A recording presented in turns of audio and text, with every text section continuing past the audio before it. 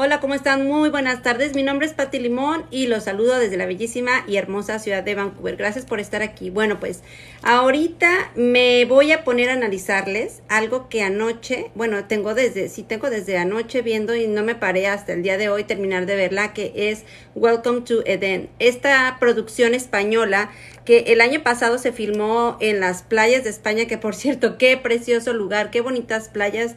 Nosotros todos sabemos que España tiene muchas cosas muy similares a las de México.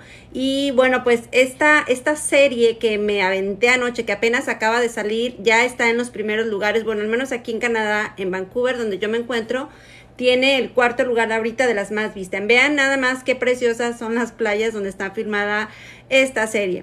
Les voy a hacer un análisis global de lo que esta serie para mí eh, significó, cómo me atrapó tan rápido y cuál es, no les voy a decir el desenlace, pero sí les puedo decir que la historia continúa y que yo ya estoy súper emocionada porque ya quiero que salga la segunda temporada, está buenísima. Primero, eh, déjenme decirles que la mayoría de los que están casteando, los castings que hicieron para esta película son muchos jóvenes, muchos de ellos son actores españoles, entre los actores españoles hay una chica que se llama Begoña, que ella es muy conocida, también una actriz principal que bueno, es ella, ella hace el papel de Zoa, se tiene que decir Zoa. Y ella se, se me figura mucho que se parece a esta actriz americana que salía en High School Musical, la güerita. ¿Cómo se llama? Ay, se me fue el nombre, por favor, díganme cómo se llama la güerita porque se me fue el nombre. El punto es de que es una trama llena de misterio, de intriga y el tema que tratan a mí me, fue lo que me enganchó. Ahí les va, les voy a dar un resumen se trata de que, bueno, esta, esta como secta, porque se trata como de una secta que recluta jóvenes y estos jóvenes de, diferentes eh, partes en Barcelona, esto pues em, principalmente sucede en Barcelona, donde estos jóvenes que aparentemente no están satisfechos con su vida, tienen problemas de, pues ya saben, de identidad, de felicidad y de todas estas cuestiones eh, emocionales que están atravesando los, los, chavos en esa edad. Y alguien eh, aleatoriamente, pero con ciertas características, a través de un sistema, selecciona a través de sus redes sociales a estos chicos y entonces les dicen, ¿sabes qué? Ustedes, por favor, este, díganme si eh, tienen ganas de, de, vivir algo diferente, si tienen ganas de tener este, de, de, si buscan la felicidad. Si ustedes no son felices, sea haciendo lo que ustedes hagan en sus vidas, contesta este mensaje porque entonces nosotros te vamos a llevar al Edén, te vamos a llevar a la felicidad que no conoces. Entonces estos chicos obviamente pues están pasando por cuestiones difíciles, como les digo, es normal, a esa edad todo mundo, este, todo mundo tiene problemas difíciles para ellos, entonces los seleccionan y los mandan citar en un lugar.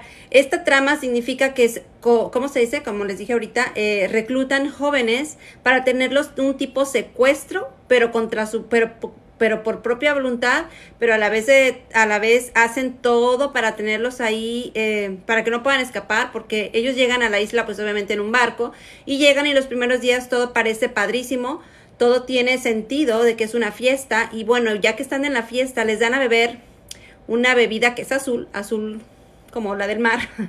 y en esta bebida ellos entonces empiezan a alucinar, ¿no? Es como una sustancia que los hace perder la, la, noción de la realidad y a partir de ahí ellos ya están enganchados. Los tienen todo el tiempo con una pulserita de esas que prenden, ya saben como las que usan cuando van a los conciertos, ubican, los que han ido a conciertos, por, el, por ejemplo el de Coldplay y esos conciertos tan modernos donde les ponen una pulserita y esa pulserita pues alumbra. Bueno, pues de esta forma Igual estos chicos son seleccionados. La condición es de que no pueden decirle a nadie a dónde van, ni tampoco, porque ni, ni, ni, siquiera ellos saben a dónde van, y tampoco pueden ellos llevar a nadie que no sean ellos mismos, o sea, no pueden invitar a ningún amigo. Entonces, una de las protagonistas, la chica que se llama Zoe, Zoa, perdón, ella sí lleva a una de sus amigas. El punto es de que esta secta habla de cómo los eh, jóvenes que todo posteamos, porque me incluyo, no por jóvenes, sino porque todo posteamos en las redes sociales, todos ellos están eh, monitoreando y saben todas tus debilidades, saben tus, tus, todo lo que tú haces. Entonces ellos de ahí se agarran para manipularte, para aplicar una serie de psicología. Eh, muy dura, muy cruel en los jóvenes porque les dicen, allá afuera nadie te quiere, allá afuera no le importas a tus papás, allá quién te va a buscar, o sea, ya realmente tú no tienes nada que valga la pena, te tienes que quedar aquí con nosotros, nosotros somos ahora tu nueva familia. Bueno, les hacen semejante lavado de coco wash a los chavos que están ahí, a las chavas, entre ellas Belinda. Belinda ah, juega un rol como una influencer muy importante, que tiene millones de seguidores y que ella, bueno, en la trama es muy inteligente y aún a ella la hacen tener como dudas de su carrera, de que si realmente sus seguidores la quieren y si realmente sus seguidores se van a les importa lo que ella hace o no, porque dice, el día de mañana dejan de ser tus seguidores, te dejan de seguir ya no les importas y pues de qué pasó, o sea, qué pasó con tu vida. Entonces esta trama me atrapó por eso, porque me, me impresiona cómo yo no, yo no dudo que muchas de estas cosas que nos enseñan a través de las series en la televisión, en este caso de Netflix, no dudo que sí estén pasando, porque pónganse ustedes a pensar, se han perdido muchos jóvenes en todas partes del mundo. Ellos aparentemente mandan un mensaje a sus familiares a través de un, porque aparte les quitan el celular cuando entran, no pueden llevar celular, no le pueden decir a nadie, es un secuestro, pero es un secuestro voluntario, porque ellos decidieron ir.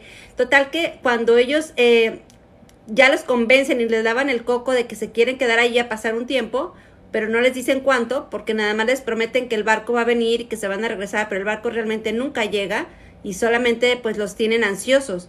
Pero cuando llegan a estos chavos que seleccionan de toda esa bola de chavos que van a la fiesta, les aplican una persona o les, les consignan a una persona a, las, a la cual le llaman tu, es como si fuera un ancla, es como si fuera tu enlace, enlace. En este caso, como estamos en España, es, es un enlace. Entonces, este enlace es el que te va a hacer tener las, eh, las razones que tú, de que tú crees que necesitas para quedarte y para no regresar a casa. Está bien interesante, ¿eh? ¿Cómo les digo? ¿Cómo aplican la psicología? ¿Cómo los hacen sentir que no valen? ¿Cómo los tienen casi casi con lo mínimo en esa isla? Los tienen después para, para hacerlos como tipo esclavos, pero modernos. Y cómo también utilizan eh, el amor, ¿no? A que aparentemente surge entre en, en la persona que te enlaza o sea, con la que te estás ahí medio, este, medio relacionando, pero que a la vez, eh, pues estás ahí vulnerable, estás tú solo y es la persona que te hace caso. Entonces también hay muchas escenas románticas entre hombre y entre hombres, o sea, entre dos hombres y entre dos mujeres. Eso también se los comento para las personas que sean sensibles a estas imágenes. Solamente sepan que van a encontrar en esta serie eh, sensibilidad eh, de de mucha cuestión eh, íntima, es muy explícito, pero pues nada que ustedes no se puedan tapar con los ojos. También vamos a ver mucha violencia, hay muchos golpes, eh, hay cosas de cuchillos y de esas cosas pues que de repente también no son muy así, pero nada que no podamos, nada que no podamos taparnos los ojos y ya luego luego pasan. Pero sí les digo, esta serie habla y trata de esta de esta necesidad que tienen los chicos, los jóvenes, de ser aceptados y de pertenecer a un grupo y de cómo hay grupos, sectas que tienen, eh, que son, que son, que son, son narcisistas en potencia, para que me entiendan. Ellos saben las debilidades de estos chavos, ellos saben cómo meterse a la mente de ellos, ellos hacen que manden un, ellos mandan un mensaje a la familia de ellos para decirles, estoy bien, me fui por mi propia voluntad, estoy, este, haciendo otras cosas, ahorita por favor no me busquen o sea, cómo tienen todo bajo control. Y son organizaciones enormes porque aparte trabajan con personas dentro de la isla, fuera de la isla, están súper bien conectados, todo tienen satelitalmente bien, este moderno, entonces aquí no hay ni cómo ni por dónde escapar, los chavos están atrapados y ahora no les queda de otra más que pertenecer a fuerzas a esta secta. Y también los marcan como puercos, les marcan unas X en los, en los, en las muñecas, les marcan eh, cuando llegas al tercer nivel son tres, e, como 3X o como estrellas y ellos tienen que ganarse el, el, el acceso, ¿no? El ascenso dentro de esa dentro de esa competencia tienen que hacer un montón de cosas que ponen en riesgo muchas veces su salud, su vida. Entonces está bien interesante, me gusta mucho la trama, te tiene en suspenso, bien por Belinda por haber hecho esta serie que es diferente tal vez a todo lo que ella antes ha hecho.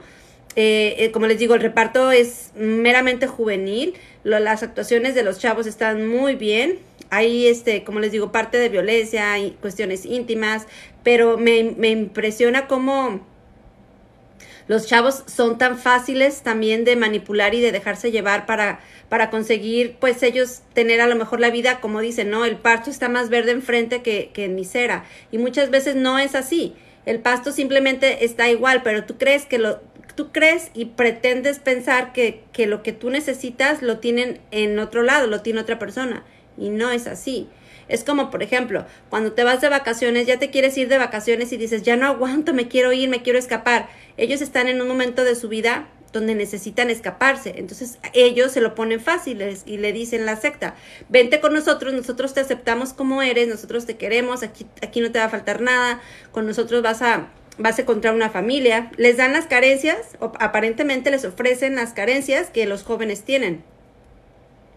Entonces los jóvenes llega un momento en el que como cualquier persona, después de un mes, dos meses, después de estar seis meses fuera de tu casa de vacaciones, estás ya harto, ya quieres regresar a tu casa, quieres regresar a bañarte en tu baño, quieres acostarte en tu cama, extrañas las cosas simples que antes te, te, caían gordas de tu casa, ahora las estás extrañando y ahora dices, bueno, ¿sabes qué?